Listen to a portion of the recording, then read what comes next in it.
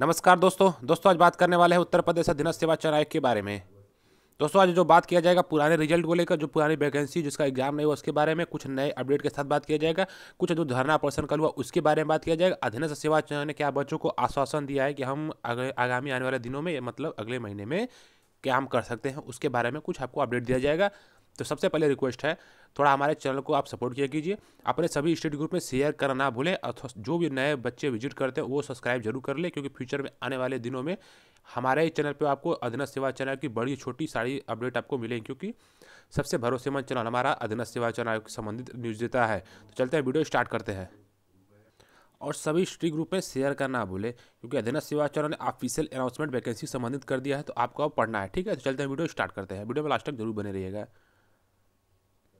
दोस्तों, आपका lower PCS ठीक है, जो लोअर मेंस होता है, ठीक है, उसका जो वैकेंसी आने वाली उसके बारे में आपको बता दे रहा हूँ, उसका बैच स्टार्ट हो चुका है, ठीक है। अन अकेडमी ने बैच स्टार्ट कर दिया है। इसमें बेस्ट एडुकेटर यूपी के हैं। यूपी के बेस्ट एडुकेटर जिसने बताया, इन्होंने बताया कि प्री में, जो कि प्री का रिज़ल्ट निकला मेंस होने वाला है, जो जनवरी माह में या फरवरी में होने वाला है, उसकी में सबसे ज़्यादा सलेक्शन इन्होंने अन अकेडमी वालों ने दिया है। इन्होंने सर्वाधिक सलेक्शन दिया है अपने प्लेटफार्म पर। तो जो भाई अधीनस्थ सेवा चयन की या लेखपाल या किसी वैकेंसी की तैयारी करना चाहता है तो वो जाकर तुरंत अन अकेडमी में जुड़ जाए। मौका बहुत बढ़िया चल रहा है। लिंक आपको डिस्क्रिप्शन में जुड़ा हुआ है। गौरव, इक्कीस डाल दिए कोड कोड डालने के बाद आपका कोर्स अनलॉक हो जाएगा, ठीक है? लिंक डिस्क्रिप्शन में है। अब बात किया जा रहा है नियुक्ति के लिए। आयोग पर धरना प्रदर्शन इसमें हुआ क्या था? इसके बारे में बताया जाएगा। और क्या हो गया? अधीनस्थ चयन ने क्या शासन दिया? उसके बारे में। पहले यहाँ पे पढ़ लिया जा रहा है। कुछ न्यूज़ कहाँ से छपी है? ये पहली न्यूज़ है जो वीडियो के लिए है। वीडियो वाले धरना प्रदर्शन मैंने कल बोला था कि वीडियो वाले भी धरना प्रदर्शन के लिए गए थे, वहाँ पे देख लीजिए। चयनित वीडियो के चयनित अभ्यर्थियों ने सोमवार को गमती नगर पिकअप भवन में उत्तर प्रदेश अधीनस्थ सेवा चयन पे दफ्तर पर प्रदर्शन किया। अभ्यर्थियों का आरोप था कि चयन के करीब डेढ़ वर्ष होने के बाद भी नियुक्ति नहीं मिली। यह अभ्यर्थी पहले भी नियुक्ति की मांग को लेकर धरना प्रदर्शन कर चुके हैं। वाकई में दो की भर्ती है भाई, दो हज़ार इक्कीस आ गई। अभी तक क्लियर नहीं हुआ। ये लापरवाही बर्दाश्त के बाहर है, ठीक है? अब यहाँ पे अनियमितता के बारे में कुछ यहाँ पर नोटिस दिया, ये भी पढ़ लीजिए। अब सबसे बड़ी बात अनियमितता को लेकर एस जो जाँच हुई है हो रही है। पंद्रह छात्रों को अभिलेख सत्यापन के लिए पहली सूची जारी हुई है फिर भी कार्रवाई रोक दी गई है।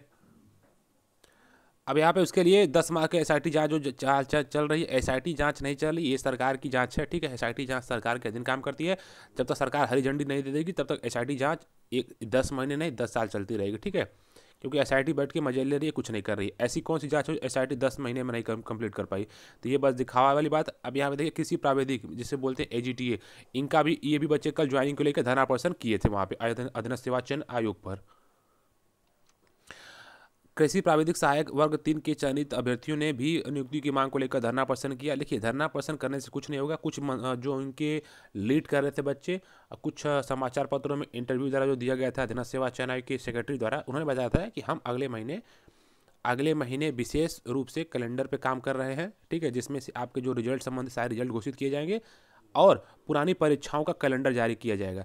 पुरानी परीक्षाएँ जो कुछ आधे कैलेंडर जारी करेंगे कि ये तो झूठ तो वैसे ही बोलते रहते हैं। आज जब पाँच महीने से कैलेंडर जारी कर रहे हैं, हर एक बार इंटरव्यू देते और करते कुछ नहीं है। तो ये जो पुरानी परीक्षाएँ के बारे में बता रहे हैं, देखिए, आपका एक से दो एग्ज़ाम का शेड्यूल हो सकता है अगले महीने, जनवरी महीने में आ जाए, जो शेड्यूल दे दे कि हाँ भैया, हम ये एग्ज़ाम अगले महीने कराने वाले हैं। संभावित तिथि आपको हंड्रेड परसेंट मिल सकती है अधीनस्थ सेवा चयन आयोग की तरफ़ से। वैकेंसी देखिए जो भी आपका होगा, जैसे आपका जो प्रिफ्रेंस में अधीनस्थ के है, लोअर का मेंस है, ठीक है, ये सबसे पहले ऊपर है। उसके फॉरेस्ट गार्ड का एग्ज़ाम है। उसके बाद ए फिर बोरिंग टेक्नीसियन फिर कंबाइंड टेक्नीसियन जेई 2016 और जेई 2018 ये सारे वैकेंसी का क्रम देखिए, ऐसे ही है। आपका कैलेंडर भी आएगा तो देखिएगा, आपको यही क्रम दिखाई देगा वहाँ पे। ठीक है कैलेंडर में यही क्रम दिखाई देगा। और किसी प्रकार के रिज़ल्ट का वेट कर रहा है, जैसे मंडी वाले भाई रिज़ल्ट का वेट कर रहे हैं तो भैया उनके लिए अधीनस्थ सेवा चैनल स्पेशल पहले नोटिस में बोल दिया गया कि टाइपिंग आपका होगा टाइपिंग के बाद हम रिज़ल्ट घोषित कर देंगे। तो टाइपिंग डेट आपका आ चुका है, उसके लिए परेशान ना रही है ठीक है? कहीं आपको दिखाया जा रहा है कि ऐसे रिज़ल्ट आएगा, वैसे रिज़ल्ट आएगा तो उस पर ध्यान ना दीजिए। अधीनस्थ यदि रिज़ल्ट पहले घोषित करेगा टाइपिंग के तो हमारे चैनल पर आपको सूचित पहले कर दिया जाएगा। उसके लिए आप परेशान ना रहिए, पढ़ाई फोकस करते रहिए। बस जो जानकारी थी आपको दे दी गई, आगामी आने वाले वीडियो में आपको कोई भी कमेंट क्यूज रहेगी, आपको बता दिया जाएगा। तब तक के लिए दोस्तों, जय हिंद, जय भारत।